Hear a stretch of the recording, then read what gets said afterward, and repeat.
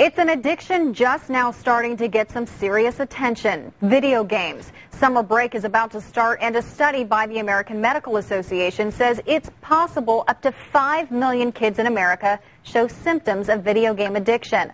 A local college professor releasing a new book about it. 7 South Newsroom reporter Josh Taylor has details. Ryan G. Van Cleave says his habit of playing video games took up hours, caused family fights, cost him his job and nearly everything else. And I said, my life is so out of control, I might as well just jump. The virtual world had taken over. Those hours aren't coming from nowhere. They're being taken away from other aspects of your life. And it's usually your friends, it's your family, and it's your job or, or school. Like a drug, he says the cold turkey method was trying. Just as bad as you can imagine for any other type of addiction. I had 103 degree fever. I had the shakes. I couldn't sleep. I couldn't eat. Uh, it was it was a nightmare. Looking for an easier way to help those hooked, the Ringling School of Art and Design professor has just released his latest book titled Unplugged. I think that this is the new global epidemic.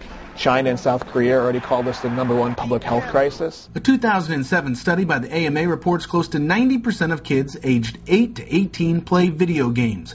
Of them, more than 5 million may be addicted. Right now, as kids wrap up the school year, it's Video Game Addiction Awareness Week. The reason that it falls at the end of May or in early June each year is because, particularly this, you've got so many kids who now have this abundance of free time. Cleave has also been contacted to come talk to the troops. Video game addiction is a huge problem. They have so much downtime. They want the escape from the, the rigors of whatever it is that they're doing. The numbers continue to rise as generations of gamers grow. The average player is now 35 years old.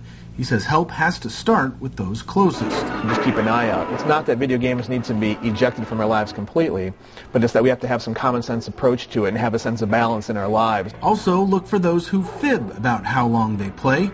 Van Cleave says um, he still mashes a few buttons every now and then. I do play some, but we're talking less than a couple hours a week, which, you know, compared to my 30, 40, 50 hours a week years ago is much, much better. For the 7 South Newsroom in Venice, Josh Taylor, ABC 7 News.